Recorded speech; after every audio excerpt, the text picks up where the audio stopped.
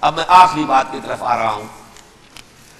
آخری نتیجہ تو جو بھی کچھ اپس اینڈ ڈاؤن آئیں گے آئیں گے۔ تلکل ایام نداولها بین الناس۔ آخری نتیجہ ڈراپ سین وہ یہ ہوگا کہ اللہ کے دین کا بول بالا ہوگا اور پوری دنیا پر محمد کے لائے ہوئے دین صلی اللہ علیہ وسلم کی حکومت قائم ہوگی۔ وہ گویا قیامت کی تمہید ہوگی، اس کے بعد بس قیامت آئے گی۔ کیونکہ مقصد کائنات، تخلیق کائنات پورا ہو جائے گا۔ پوری مخلوقات کے اندر مقصد تخلیق کلائمیکس آف کریشن محمد الرسول اللہ صلی اللہ علیہ وسلم۔ دین کی تکمیل، محمد الرسول اللہ صلی اللہ علیہ وسلم۔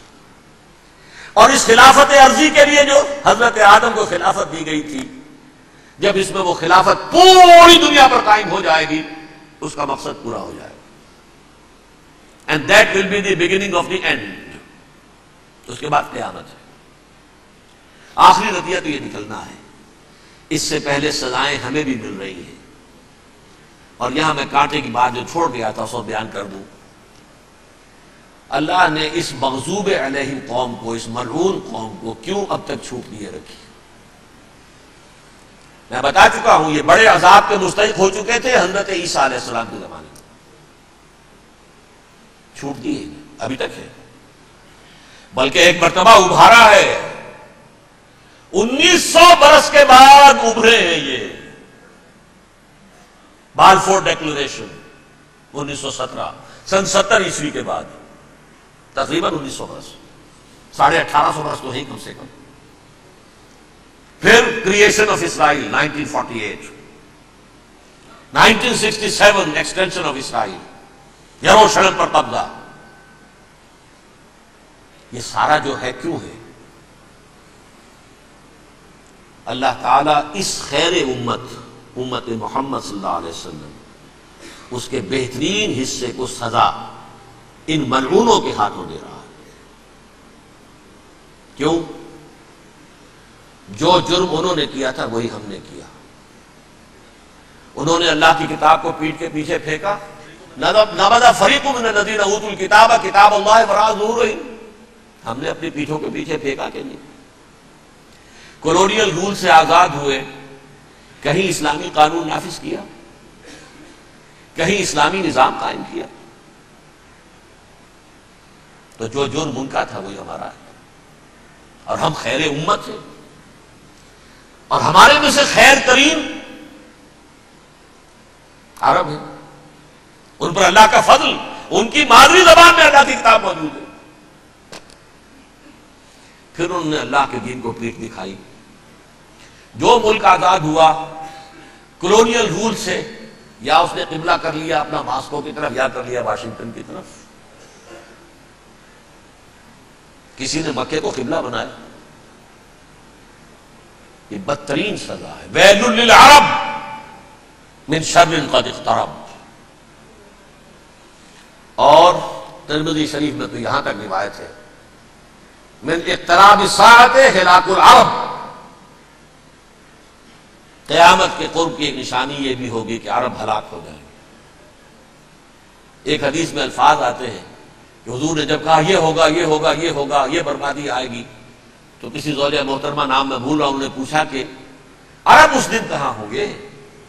فرمایا، العرب یوم دن قلیل، بہت کم ہو آخری خاتمہ ہونا ہے یہود کا، حضرت مسیح علیہ السلام کے ہاتھوں۔ وہ عذاب جو دو ہزار برس تک ان سے ٹلا رہا، وہ آئے گا۔ اور ان کے رسول ہی کے ہاتھوں آئے گا۔ لیکن اس سے پہلے مسلمانوں پر یہ عذاب آ رہا ہے۔ ہولو کوس کے درجے کا عذاب آئے گا، آ رہا ہے۔ البتہ ہم پاکستانی اس میں یوں سمجھ لیجیے کہ وہ تو خبریں موجود ہیں حادث میں، وہاں تو جو ہونا ہے ہونا ہے۔ اتنے انسان مریں گے، اتنے انسان مریں گے کہ ایک پرندہ جو ہے اڑتا چلا جائے گا، وہ نہیں چاہے گا کہ نیچے اترے تو کسی لاش پر اترے۔ اسے جگہ نہیں ملے گی زمین خالی کر کے اتر سکے۔ تھک ہار کر گر کر گرے گا، مرے گا تو بھی لاش کے اوپر گرے گا۔ یہ الفاظ صلی اللہ علیہ وسلم المرحمت العظما المرحمت القبرا یہ لاسٹ کروسیڈ ٹرمپٹ اخبار نے میں اس کا فوٹو اسٹیٹ بھی کبھی آپ کو دکھا دوں۔ ویسے میرے ساتھ ہے وہ سالہ ٹرمپٹ دی لاسٹ کروسیڈ اس کی تیاری ہو رہی۔ وہ الملحمت العظما اور ملحمت القبرا جو ہے وہ آنے والی ہے ابن ماجہ میں کبرا کہا ہے، اکبر کا مونس کبرا ملحمہ کبرا سب سے بڑی جنگ۔ اور ملحمہ عظما سب سے عظیم جنگ۔ یہ ہوگی اور بہت جلد ہوگی۔ اب آخری بات عرض کر رہا ہوں۔ کرے کیا؟ کچھ کرے بھی کہ نہیں؟ پہلا کام تو یہ ہے کہ اصل زندگی آخرت کی زندگی ہے۔ دنیا میں تباہی، بربادی آ بھی جائے، آخرت بچ جائے۔ پہلا کام یہ ہے کہ ہر شخص توبہ کرے، لیکن توبہ توبہ نسوخ۔ توبہ کی تصویر نہیں۔ آیا کریمہ کا ختم نہیں۔ لاکھ مرتبہ سبحان کہنے کی اس سے کچھ نہیں۔ توبہ یہ ہے، اپنی معاش کے اندر جھانکیے اپنی معاشرت میں جھانکیے جہاں جہاں اسلام کے خلاف کچھ نظر آئے، پھینک دیجیے نکال کر کاٹ دیجیے بے پردگی ہے نکالیے آپ کی کمائی میں کوئی حرام کا انسر ہے، ختم کیجیے توبہ کیجیے ابھی کیجیے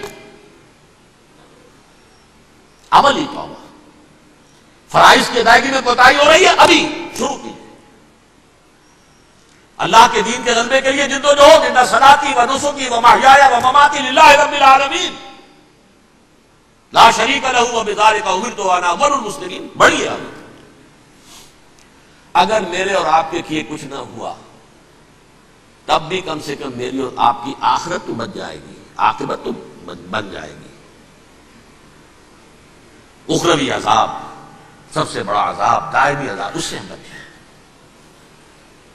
دوسرا کام ہے اجتماعی توبہ۔ اجتماعی توبہ کیسے ہوگی؟ یہ سلطنت خدادات پاکستان جو اللہ نے عطا کی تھی۔ اس میں اسلام کا نظام قائم اور اسلام کی شریعت نافذ کی۔ اس کے لیے جد و جہد تن من دھن کے ساتھ لگ جانا۔ منظم جماعت بنا کر، اول تو تمام جماعتیں متحدہ محال بنائیں اور آ جائیں میدان کے اندر۔ وہ صرف طالبان کی حمایت نہیں، اس ملک میں اللہ کے دین کو قائم کرنے کے لیے۔ مثبت مقصد سامنے رکھے بارہ اس کے لیے کوششیں تو جتنی بھی ہو سکتی ہیں ہو رہی ہیں۔ میں کتنے عرصے سے یہ کہہ رہا ہوں، کاش کہ یہ دینی جماعتیں ساری کی ساری۔ یہ پاور پالیٹکس سے پسپائی اختیار کر کے اور ایک مطالباتی تحریک ایک مظاہراتی تحریک، ایک pressure movement pressure group resistance movement دین کو نافذ کرو.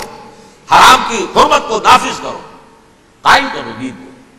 اس کے لیے میدان میں آ جائے